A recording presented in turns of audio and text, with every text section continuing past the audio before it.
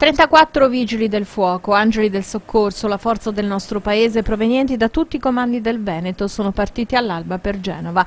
Sono i componenti della squadra, la USAR Urban Search and Rescue, la squadra di ricerca e soccorso che da oggi si alterna alla squadra della Lombardia e continuerà la ricerca dell'ultimo disperso, rimasto sotto le tonnellate di cemento che hanno travolto ed ucciso 43 persone.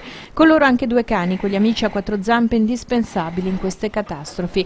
Il loro fiuto è sempre determinante importante per indicare i punti dove la mano umana poi scava e trova vite ancora in vita. E per fortuna anche sotto il ponte Morandi di fronte a tanta morte qualcuno è riuscito a rivedere la luce grazie al coraggio di altri uomini di quei soccorritori addestrati appositamente al salvataggio esperti che non perdono mai l'umanità pronti a spendersi fino all'ultima forza che hanno in corpo per gli altri. Il contingente veneto è partito dalla sede di Mestre con mezzi strumenti ad altissima tecnologia. Ai vigili del fuoco ai soccorritori alla vera speranza del nostro paese persone capaci capaci di lanciare il cuore oltre l'ostacolo senza mai esitare, infiniti gli applausi durante le esequie in fiera a Genova.